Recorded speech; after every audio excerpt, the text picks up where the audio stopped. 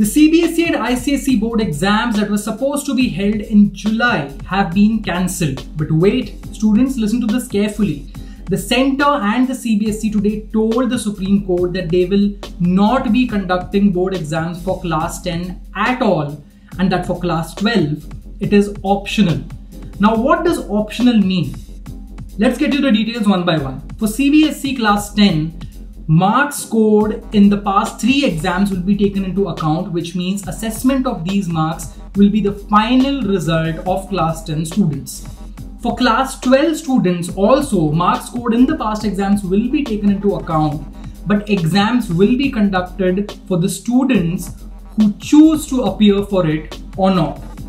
So basically, class 12 students have two options.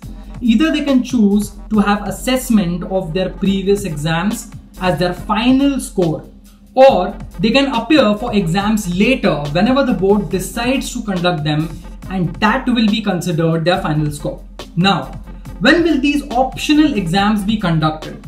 There's no clarity on it yet. SG Tushar Mehta told the court that exams will be conducted whenever the environment is conducive to do so. When will the environment be conducive? The decision on it will be taken at the central government level. When will the results of the assessment be declared? SG Tushar Mehta told the court that they will be declared by the 15th of July, but the court argued that the children have entrance exams to prepare for. So, a notification by the board about the exact timeline, including the declaration of results, must be declared by 26th of June. In short, the board will issue an official notification by the 26th giving all these details. What about ICSE board?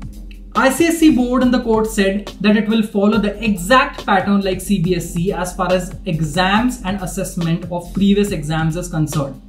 Later, they will decide whether to hold the optional board exams or not.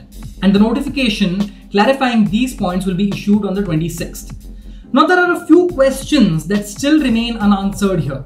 What about the entrance exams that are conducted on the basis of class 12 exams like NEET or JEE mains? What if they are conducted before the optional class 12 exams? What if a particular student opting for an exam is in a containment zone?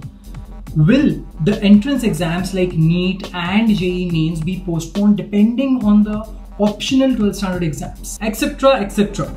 So while class 10 students can relax as they have no option of any exam at all, for class 12 students, the ball is in their court.